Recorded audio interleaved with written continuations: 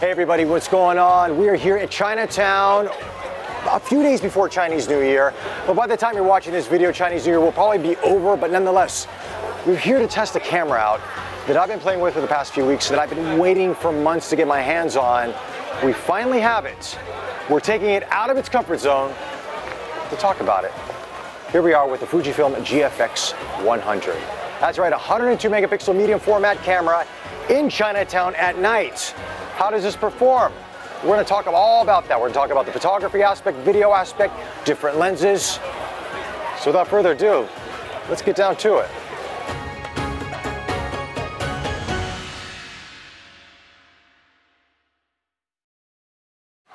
So you might be wondering where the GFX 100 is at. Well, actually Kai Hong is using it to record me right now.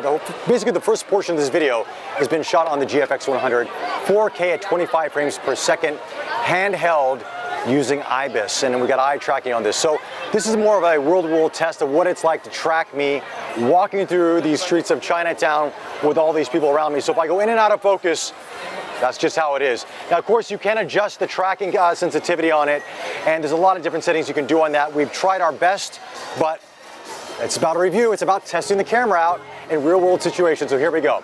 Let's talk about the GFX 100 because this is a very unique medium format system. The fact that we're even shooting 4K handheld like this is a first.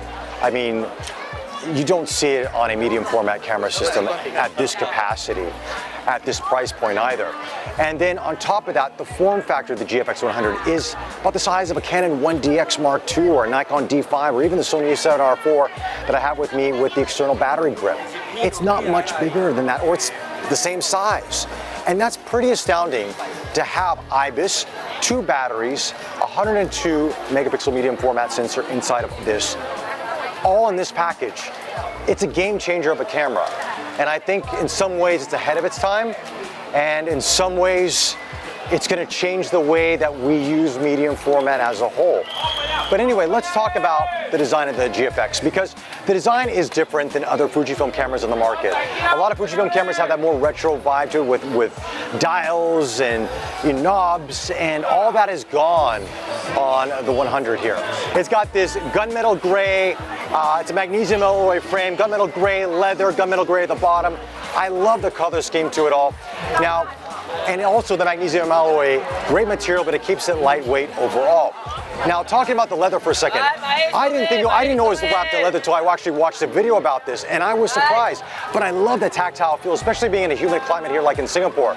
You want something that is easy to grip, and a lot of the older other Fujifilm cameras have this kind of vulcanite, kind of faux vulcanite look to it, and it's plastic, but this feels really good in the hand. Now let's talk about this vertical grip for a second because everybody's talking about this vertical grip. People it's are hating it, they're over dramatic on YouTube. Let me tell you something. It's not bad. It's easy to hold. Yes, it's thinner than the normal grip, but you've got to remember something about uh, medium format that a lot of people don't mention. The aspect ratio is different than full frame. So when you want to move to portrait mode or vertical mode, you're not, it's not a huge difference in terms of the aspect ratio as it would be on a full frame camera system. So for the most part, you're not going to use the vertical grip all that much. And if you do, it feels good in the hand. It doesn't slip out. It doesn't hurt my hand. It's, the people that talk about those things are very, I don't want to say the drama queens, but yeah, the drama queens. It's fine, guys. And you got all the buttons and everything you need on there. You got the thumb uh, rest there.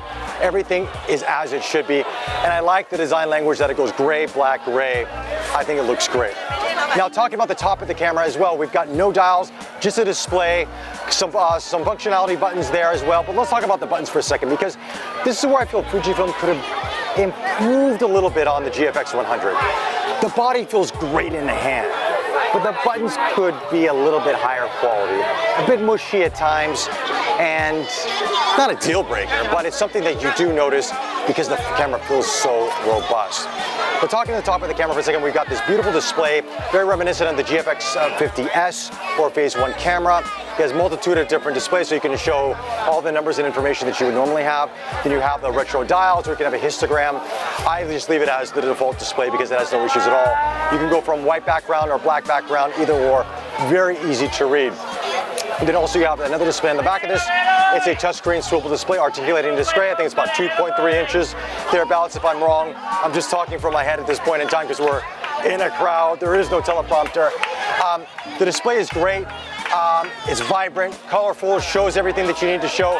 But if you want to see, here's the tip. If you want to see how sharp your images are, you need to shoot JPEG and in RAW. If you only shoot in RAW, you don't get to see the full detail because actually what it does is uses the JPEG image to show you how crisp your image is. So keep that in mind. Anyway, it does articulate. Um, it's not a full swivel. Wish it was, but I don't think I'll be vlogging with the GFX 100 anytime soon. But if I was, yeah, I'd want that swivel display. But it is what it is. Um, no issues at all with that. And then also we have that sub display in the back, which is, um, it's cool. It shows you your battery information. It can show you different information because you can totally customize these displays to be what you want them to be. So I like it. Um, I don't notice it all the time, but it's nice to have. Anyway, that's it for the, the aspects of the outside of this camera. I'm gonna take the camera back from Kai Hong. His arm is tired, and we're gonna talk about what it's like to use the GFX 100 in a situation like this, low light, in Chinatown during Chinese New Year. Okay, so we switched cameras and I decided to sit down for this next bit because it's a lot of walking and it's hot and humid tonight. Anyway, let's talk about this camera, about the 102 megapixel sensor on this. Now, it's not a full-size medium format sensor that you would find on a Phase 1 or a Hasselblad H series, but it's sort of like I would say an APS-C medium format sensor. It's still larger than full frame, and you get a lot of information in your images, and this has 16-bit uncompressed, beautiful, stunning 102 megapixel images out of this thing. And if you've never seen 102 megapixels, trust me, it happens to all of us when we first see it. Our jaws drop and we're like, wow. Okay, once you get past that, there's a lot more to this camera than just that awesome image that comes out of the sensor. You've got dynamic range, 16-bit files out of this. Once if you can set it to compressed, uncompressed, 16-bit, 14-bit, you have so so much play with your your files that you can just I mean, the highs, the lows, you can pull details from shadows that you were never, you were never able to do on a full frame sensor before. And that's sort of the magic behind medium format. It's the tonality, it's all those things. It's not just the depth of field that you get with it, but it's just, it's the sum of many different parts. Now, when you, now I have to say this, when you do compress an image and you put it on social media, sometimes someone might not know that it's a medium format image. You will, but they might not know. But they'll say to you, wow, that's a beautiful image. That's really something, it, there's something different about it, but they can't tell you. Anyway, what's it like to use this camera? Well, we're gonna walk around Chinatown, and I'm gonna handheld, I'm gonna go shooting with a variety of different lenses. So let's get down to it. All right, so first let's talk about this newer lens for the GF lineup. It's the GF50 3.5, or as they call it the pancake lens. Now, it's one of the lightest medium format lenses on the market. It was until Hasselblad released their 45P one, but I gotta tell you, it's a great little street lens. Now, 50 millimeters for this medium format sensor is equivalent to about 35 millimeters for full frame. 3.5 is about a 2.8. So it's not a super fast lens, but it's good for this amount of lighting. Now, if you wanna go darker, I'd recommend obviously going to the 110 f2, which I have with me, and we'll talk about that in a second. But overall, the, the performance of this lens is really good. Actually, the first part of this video that we were shooting was shot with this lens. And it's quick, it's sharp, it's, uh, I don't see any sort of softening in the corners really per se. Um, high performing lens. I mean, all the GF lenses are really good. Some are better than others, but this lens is really nice to use. And because it's so lightweight, it's a joy to use on the GFX 100. But I would say for you GF50R uh, fans out there, this is a great rangefinder uh, or medium format rangefinder lens to have on that as well. Great, great package. All right, so the next lens we have on the 100 is the 3264 f4. Now, this is, as you can see, it's like a pseudo wide angle zoom because 32 would be about 26, 24, 26 millimeters, and 64 would be about 50 millimeters. So it's kind of an interesting range, focal range on it, but it's an f4. So for lower light situations, I mean, obviously that'd be about close to about a 3.6. So not gonna be a lens that you're gonna wanna use at night for the most part. This is gonna be great for landscapes or scenery shots or outdoor shots, you're gonna really like this lens. Now, it's a lens that I actually used the least out of all the lenses I had with me. One is because I'm a prime user, I love using primes, but also I find it to be very heavy. Um, now, obviously, wide angle zooms tend to be heavier than you know other zooms out there, but it does feel really top heavy on the GFX 100. Um, in terms of performance, though, it's not bad. Um, I find that the images are sharp. I mean, most images are sharp on this. I mean, when you're comparing lenses, it's not like one is really bad and one is really good. There's a consistency within the Fujifilm lineup for the uh, GFX system. Uh, that you find in all these lenses. It definitely resolves 100 megapixels, no issues at all. But if you can tell from our video uh, sample footage here, it's not the best for video if you want to track somebody walking and talking. You see that it goes in and out a little bit. Um, but that's for video. For photography's sake, it's great, it's easy to use. Um, the only downside is it's an f4 and it's a little bit heavy. I do hope that, um, you know, since Fujifilm has brought out a camera with IBIS and it's meant to be handheld and used in a variety of scenarios, if they start making a bit faster glass, this would be great at an f2.8, but I'm afraid if it was at a 2.8, I'd probably need an assistant to carry the lens with me while I'm carrying the camera, because this is pretty hefty. Whoops. Mic just fell, mic just clipped off. Careful. Yeah. It's a long day. Whew, telling me, man. You know, one thing about doing camera reviews, you gotta carry all these lenses around. You know, maybe other productions, they got like people and trucks. Not us. Kai Hong and I were just two lone men. That's the 110 F2, baby. That's the 110 F2 not for the faint of heart. This is one of the most beautiful lenses you'll ever get a chance to shoot with. Trust me. If there's one lens to get with the GFX 100 or any GFX system, it's the 110 f2. And you'll know why when you see the images.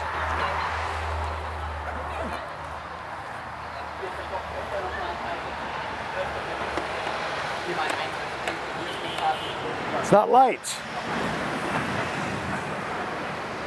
But if you want stunning image quality, it's about the equivalent to a about 100 millimeter f1.4. Otus level. I better take the lens hood off because a lot of people always complain to me, Bobby, why do you leave the lens hood on in your reviews backwards? It's because I don't have time.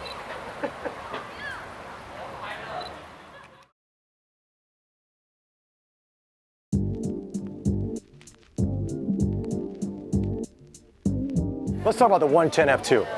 110 f2 is the dream lens of the GFX lineup. Now, I, previously tested this. I previously tested this on the GFX 50R, which we had a review about, and I love that lens then, and I love this lens now. And as you can tell, the bokeh on this lens, the separation annihilates the background. It's like a 1.4 for full frame users out there, and it's fast.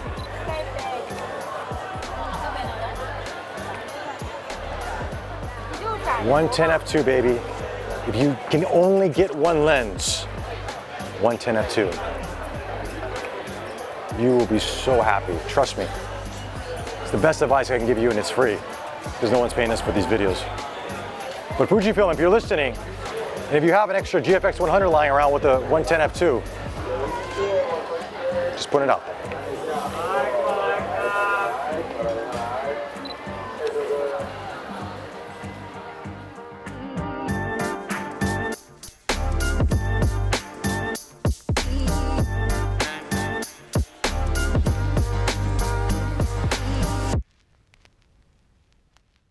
Hey everyone, uh, we are not in Chinatown right now, obviously. Um, this is an add-on to the review that you're currently watching, and the reason that we're adding this on is because this always happens to us when we do camera reviews, is that after we're done shooting the initial review, the company calls us up and they'll say, hey, we got a new product, do you want to try it, try it out, or add on to the review? So, guys, we got our hands on the GF 45100 OIS LMWR. How could we say no to this? You know, the, the kind folks at Fujifilm said, Bobby, do you want to try this lens out?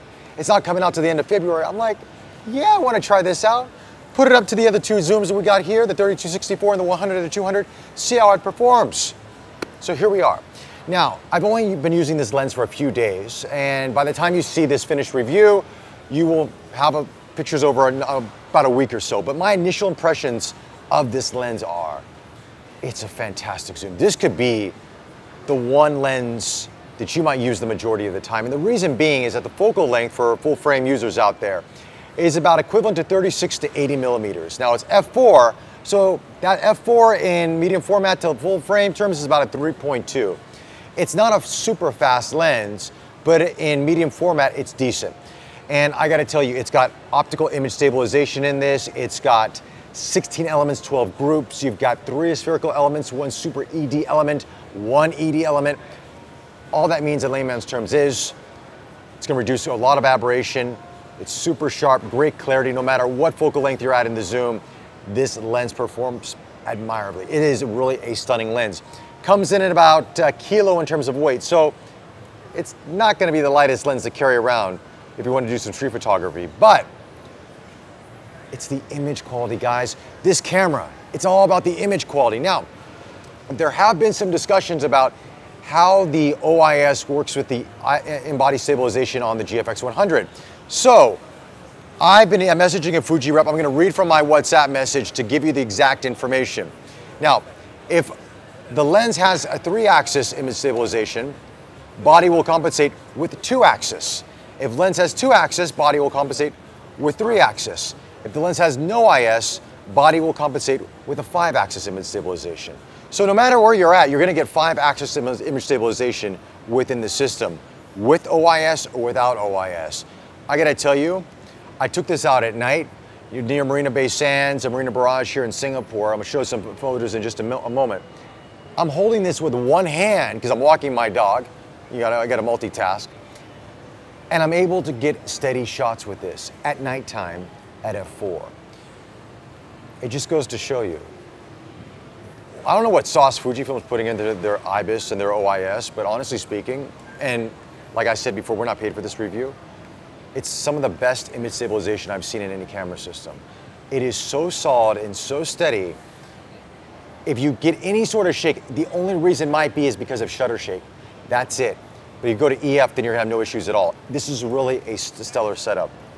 Um, we're gonna show you some comparisons between the 100 to 200 and 3264 in terms of size. The 3264 will be a bit shorter, but it's very, very weighty. The 100 to 200 actually um, feels very similar to the 45 100, but honestly, folks, if you could have two lenses in your kit if you're a travel photographer. 45 100 and a 23 and you pretty much got all your bases covered unless you're doing some wildlife photography. This is a home run. Not the cheapest lens in the Fujifilm lineup, but you know what? It's image quality, baby. You gotta pay for the good image quality. And it delivers. So we're now to the final lens we have with us for the GFX 100, and that is the 100 to 200 f 5.6 with OIS. Now, this is a I mean, this is gonna be great for a lot of sports photographers out there, uh, certain wildlife photography. Um, now it's not the fastest lens at f5.6, which is about 4.5 thereabouts if you're converting it to full frame, and the focal length would be about 90 to 180 thereabouts. I don't have a calculator with me, so if you guys want to correct me in the comment section below, you can do that. But um, it's a great lens. I really enjoy this, and I've shot a number of uh, different um, subjects from basketball. That's a bus. You didn't see it. Um, from basketball, from my friends playing basketball to just being around Chinatown. And but the great thing about this, with the image stabilization in the body and the OIS in the lens, I'm one over 10 with a sharp shot using a 200 focal length. Seriously, Fujifilm. I don't know what you guys have done with your IBIS and your OIS, but it's it's it's amazing, man. It's really amazing. I mean, I'm in nighttime, I'm still able to get shots just because of how steady this lens is paired with the body. Now, in terms of weight, in some ways, it's obviously not as girthy as the 3264. And but it feels like a 70 to 200 for the most part from if you used any sort of 7200 from Nikon or Canon or Panasonic. So it doesn't really feel that foreign to you. And obviously I know Fujifilm doesn't make a 250 uh, lens, which is really long. You also can put a teleconverter on this and extend it, but remember at 5.6, you're really gonna have to boost your ISO up at night to get those, you know, those brighter shots. And especially with a teleconverter, I wouldn't take it out at nighttime. But it's a very impressive lens. Optics are fantastic. It's a sharp lens. And um, depending on the type of photographer you are, this could be one for the arsenal.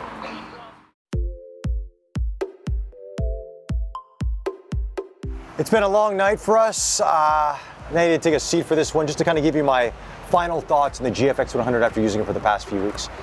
Um, it's a camera system that, I mean, it was my most innovative camera of the year in 2019, and rightfully so. It just, there's so many things this camera does that three weeks is, is not enough time with it, to be honest with you. And a lot of reviews that you might have watched out there, maybe had it for a week or two. I think a couple of reviewers that I've watched as well have had it for like longer than that, and they're very, they're more in depth than this one. But this camera is capable of so much that we've never thought possible with medium format. And take away the 100 megapixel aspect of that for a moment, but just the sensor size and what medium format cameras were just a couple years ago. Yeah, they were smaller with the GFX 50S and the 50R and the X1D, but they never had this technology that felt like a full frame camera system, and now you have that. IBIS, which is phenomenal. Packed on with the OIS that's in this 100 200 lens, I mean, come on. 1 over 10 at a 200 focal length. Sharp. You don't get that with medium format, guys. You really don't. This camera is not meant to be in the studio. Yeah, you can use it. It's not meant to just shoot landscapes. It's meant to be on the streets. Now, of course, any person that sees me walking around with this setup is gonna be like, whoa, hold on. I mean, it's not the most discreet thing on the market, but it's medium format. Now, a couple things that I would say I want to bring up that aren't necessarily issues that are gonna be deal breakers, but things you should be aware of. Low light performance. ISO over 6400 is going to be tough to use if you really want a very pin sharp image. If you want something that's for social media or a web page, it's more than inadequate. But if you really want that 100 ISO pin sharp image, it's not going to be there for you. The grip. The grip is good, but it's a little shallow for my hands and I have larger hands. It's not a deal breaker by any stretch of the imagination, but I would have liked a little bit more bulkier of a grip, especially with the size of this camera. Um, besides that, I mean, battery life. Battery life is great. It says rated 800 shots. You can get more than that. Fujifilm is being conservative. It's a great camera. I've got no issues with this. I actually want to, I mean, I don't know if Fujifilm will let me, but I want to hold on to this a little bit longer and give you a more in-depth review as the months go on. But it's an expensive camera, so I don't think that's going to happen. Anyway, if you have the means, don't listen to other people say, oh, you don't need 100 megapixels. Get it. You're going to love this camera system. And when you look at the images, everyone's going to go, wow. Simple as that. Anyway, those are my thoughts on the GFX 100 system. Let me know your thoughts in the comment section below. Like always, follow us on Facebook, subscribe to us on YouTube. Until the next one, take care.